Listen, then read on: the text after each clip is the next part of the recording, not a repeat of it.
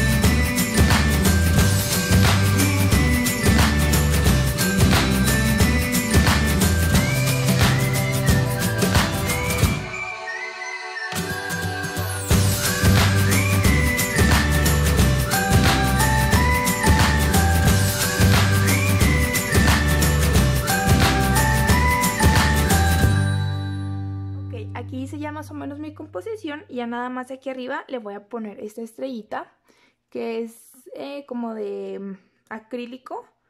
Entonces tiene brillitos y esta la quiero poner aquí arriba para que sea la estrellita de mi arbolito. Y la voy a poner igual con, con foamy